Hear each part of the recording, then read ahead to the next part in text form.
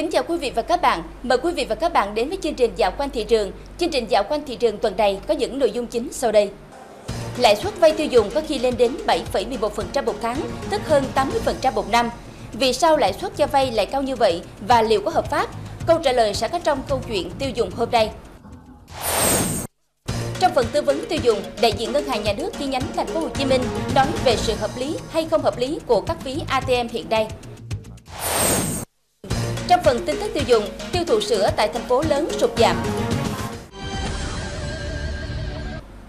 Thưa quý vị và các bạn, lĩnh vực vay tiêu dùng giúp nâng cao cơ hội tiếp cận tài chính cho người dân, đặc biệt là những người có thu nhập thấp. Nhóm khách hàng dưới chuẩn thường bị từ chối bởi các ngân hàng thương mại truyền thống. Tín dụng tiêu dùng tại Việt Nam đang có tốc độ tăng trưởng khá cao, từ 30 đến 40%. Tuy nhiên, rất nhiều người tiêu dùng tỏ ra băn khoăn về mức lãi suất cho vay của các công ty tài chính hiện còn quá cao và lãi suất này có đúng quy định của pháp luật. Gánh cho con trai một khoản nợ bất ngờ, người bố 65 tuổi này mỗi tháng phải chạy ngược xuôi để trả khoản lãi vay tiêu dùng là 765.000 đồng một tháng. Đối với nhiều người, số tiền này không nhiều, nhưng với một người không có việc làm như ông thì đó là một khó khăn lớn. Điều mà ông băn khoăn hơn đó là lãi suất vay tiêu dùng lên đến 7,11% một tháng, tức 85% một năm, một con số quá cao so với lãi vay ngân hàng. Cái tháng thứ hai nếu mà trễ 10 ngày hay là trễ mấy ngày báo cho tôi đóng, nếu lần thứ nhất tôi phạm, tôi vi phạm thì lúc đó hẳn tăng phí còn này báo cho tôi 10 ngày sau mới báo cho tôi nhưng mà 10 ngày sau báo là cứ mỗi ngày phải tăng cái số tiền lại tăng tăng tăng tăng lên như vậy tôi không tôi đọc mà tôi còn thấy nó cứ giống như là một cái ma trận tôi thấy nó mù mờ lắm nó nó chỉ nó chỉ in rõ cái chữ là lãi suất 7,11% một phần trăm một tháng là rất là rõ khi tôi nhìn vào thôi chứ còn còn những cái gì ghi chằng chằng đại hải như này tôi không không thể nào tôi tôi hiểu hết đâu theo đại diện Ngân hàng Nhà nước chi nhánh thành phố Hồ Chí Minh, hiện Ngân hàng Nhà nước chỉ áp trần lãi suất cho vay ngắn hạn đối với 5 lĩnh vực ưu tiên. Vay tiêu dùng giữa cá nhân và các tổ chức tín dụng đều phải theo quy tắc thỏa thuận. Nếu chiếu theo quy định này thì mức lãi suất 70 đến 80% một năm là không sai quy định. Đối chiếu so sánh lại thì rõ ràng là các công ty tài chính này không vi phạm pháp luật. Chúng ta phải khẳng định như thế. Tuy nhiên cái mức cho vay như thế thì chúng tôi cho rằng là hơi khá cao và chưa có phù hợp với cái, trong cái điều kiện mà kinh tế hiện nay của người thu nhập của, đối với cái người dân thu nhập đối với cán bộ công chức thu nhập của nói chung là mức bình quân thu nhập của người uh, lao động của chúng ta theo các công ty tài chính, lãi suất cho vay tiêu dùng cao thường rơi vào những cá nhân không chứng minh được khả năng thu nhập tốt. Hiện lãi suất vay tiêu dùng ở các ngân hàng thương mại tại Việt Nam dao động từ 9 đến 11% một năm, ngân hàng nước ngoài và ngân hàng liên doanh là từ 6 đến 11% một năm. Trong khi đó, vay ở các công ty tài chính là 39 đến 46% một năm. Sở dĩ lãi suất vay ở các công ty tài chính thường cao hơn ở các ngân hàng là bởi vì các ngân hàng có quyền huy động tiền gửi rồi cho vay và cho vay thì phải có tài sản đảm bảo. Còn ở các công ty tài chính, tự có vốn riêng để cho vay và cho vay tiêu dùng, không có tài sản đảm bảo nên chi phí vay thường cao hơn dẫn đến lãi suất cho vay cũng cao hơn tại các ngân hàng thương mại. Cái khoản vay của công ty tài chính tiêu dùng thường rất nhỏ à, và cái thời hạn vay cũng ngắn điều đó dẫn đến cái chi phí quản lý à, một cái khoản vay trong suốt cái vòng đời à, một khoản vay nó rất là cao. Theo thống kê của công ty chúng tôi thì cái đối tượng à, đi vay từ các công ty tài chính tiêu dùng thì thường có thu nhập từ 3 đến 5 triệu một tháng. Đây là những đối tượng không đủ điều kiện để đi vay tại các ngân hàng thương mại. À, vì vậy là cái chi phí rủi ro cũng như là cái hệ số rủi ro đối với đối tượng cho vay này là hoàn toàn khác. Đại diện Ngân hàng Nhà nước chi nhánh thành phố Hồ Chí Minh cho biết, Ngân hàng Nhà nước cũng đã thấy hiện lãi suất cho vay tiêu dùng còn khá cao so với mặt bằng chung thu nhập của người dân, nên đã giao cho hai cơ quan là vụ pháp chế và vụ chính sách tiền tệ điều chỉnh bổ sung các cơ chế quản lý, đặc biệt là lãi suất cho vay tiêu dùng.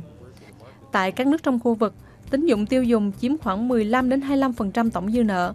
Ở Mỹ và các nước phát triển chiếm 35 đến 40%, trong khi ở Việt Nam cho vay tiêu dùng chỉ chiếm khoảng 6% tổng dư nợ. Với sự hấp dẫn của lĩnh vực cho vay tiêu dùng, nhiều ngân hàng đang bắt đầu thành lập các công ty tài chính để cho vay tiêu dùng. Lời khuyên của các chuyên gia là người tiêu dùng cần đọc thật kỹ hợp đồng trước khi đặt bút ký. Người tiêu dùng nên quan tâm đến phương thức trả lãi, đề nghị nhân viên tư vấn cho biết lãi suất vay năm đầu bao nhiêu và các năm tiếp theo thay đổi như thế nào. Ngoài ra thì người tiêu dùng cũng nên là tính toán tổng thu nhập mỗi tháng trước khi vay việc trả nợ chỉ nên chiếm nhiều nhất là khoảng từ 30 đến 40% tổng thu nhập trong tháng. Nếu không, người vay rất có thể rơi vào cảnh đi vay nợ mới để trả nợ cũ. Tiếp theo đây là phần tư vấn tiêu dùng.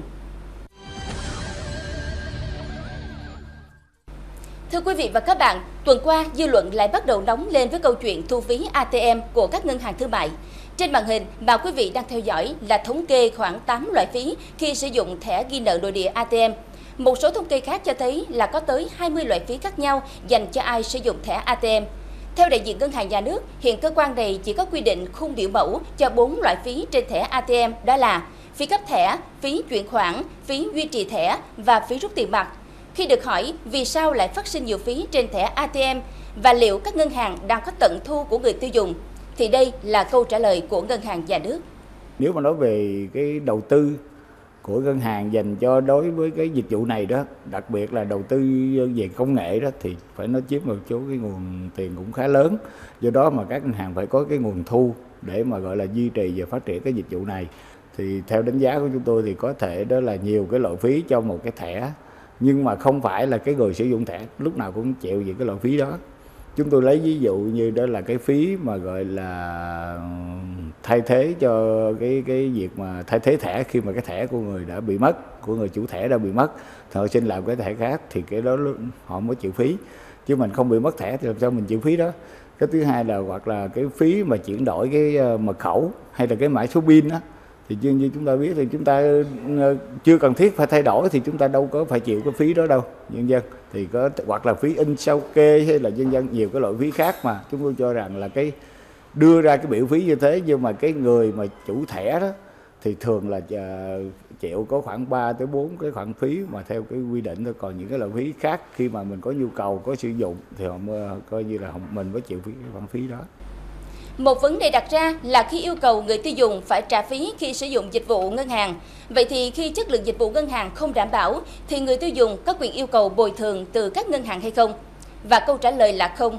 Điều này làm cho người tiêu dùng thực sự bức xúc trước mỗi lần các ngân hàng tăng phí dịch vụ ATM. Xin được chuyển sang phần thông tin tiêu dùng.